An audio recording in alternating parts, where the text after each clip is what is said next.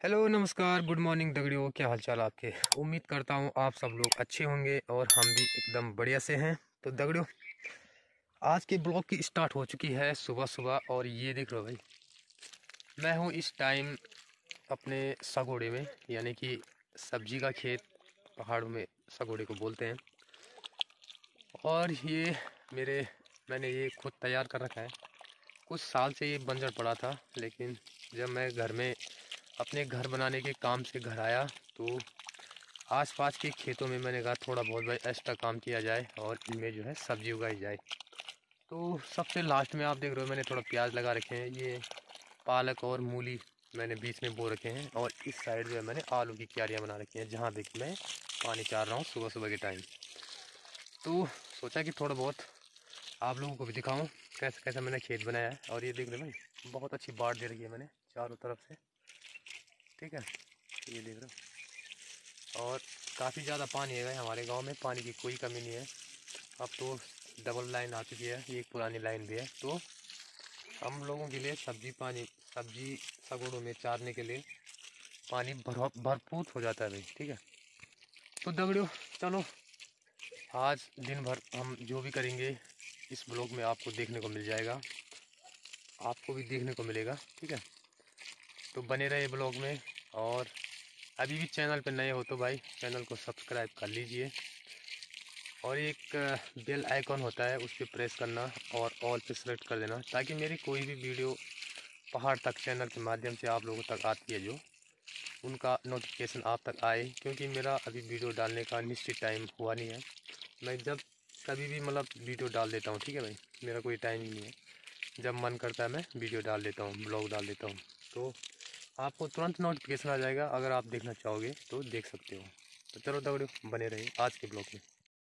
तो दगड़ियों सुबह सुबह खेती बाड़ी में थोड़ा बहुत सिंचाई करने के बाद मैं थोड़ा घर गया और उसके बाद थोड़ा भाई पैकिंग दे रहा टोपी वोपी, कपड़े वपड़े, थोड़ा गर्म कपड़े पहनने पड़ रहे हालाँकि आप मेरे चारों तरफ़ देख सकते हो, बहुत खिलखिलाती धूप है बट भाई इस धूप में भी काफ़ी ज़्यादा ठंड है, ठीक है? यानी कि धूप तो है बट ठंड काफ़ी ज़्यादा है।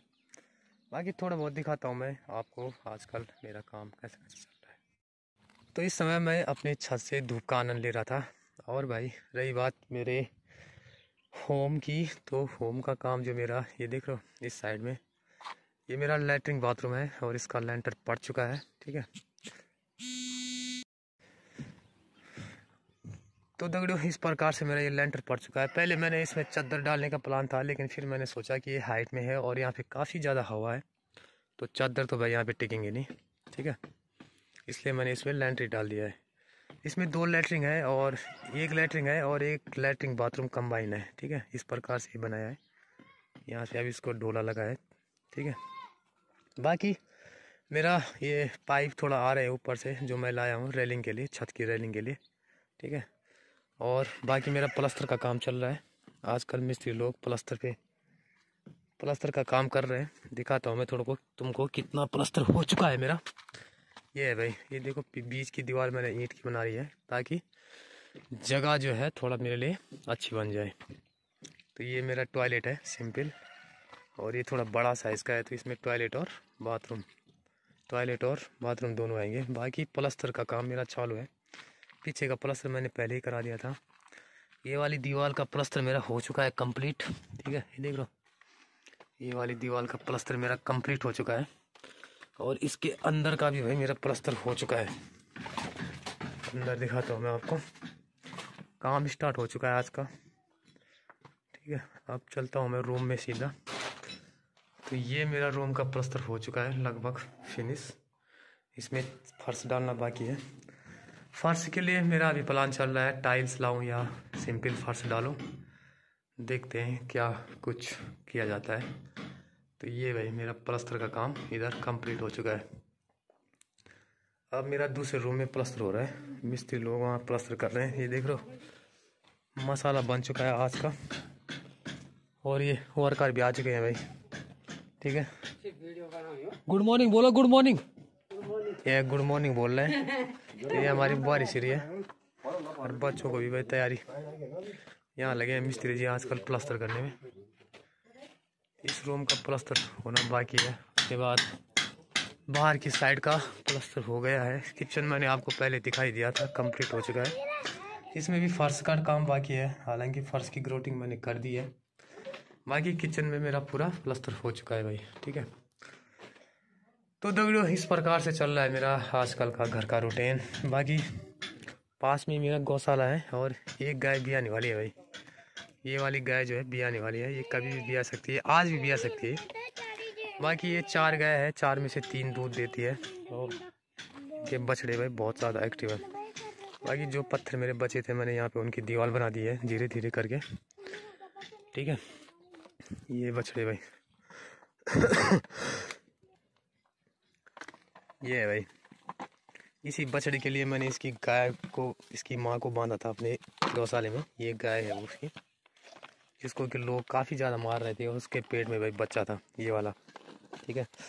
अभी हमारे गौशाले की शान है। इधर इधर देखो, ये बहुत नट कटे हुए दो दो गायों का दूध पीता है और इसको मैंने खुला दूध पिलाता हूँ इसको।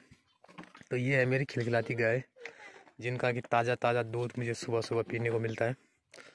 बाकी साइड में मेरा ये खेत बंजर था, थोड़ा मैंने इसको रिपेयर किया एक्स्ट्रा टाइम में और इसमें देखो भाई, लहसुन लगा रखी है और इस साइड में आलू। हालाँकि आलू तो बंदर खा जा रहे हैं थोड़ा थोड़ा देख रहे हैं साले कि आलू होने लग गए हैं तो भाई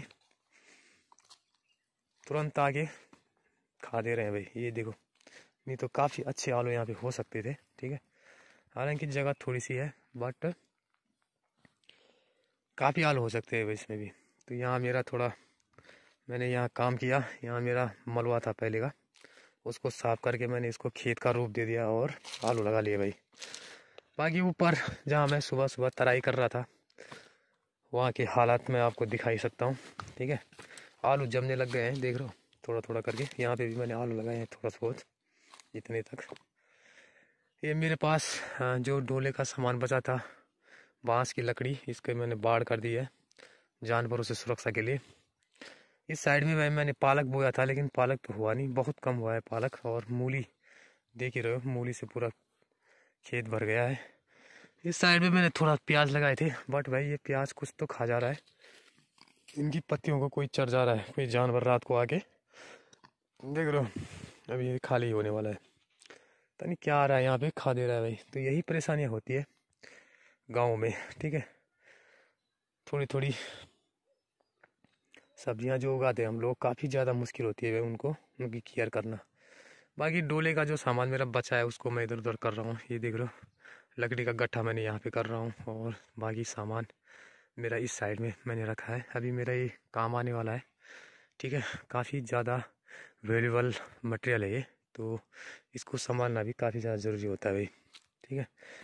तो दगड़ो, यही चल रहा है मेरा आजकल का रूटीन काफ़ी ज़्यादा व्यस्त हो गए हैं भाई।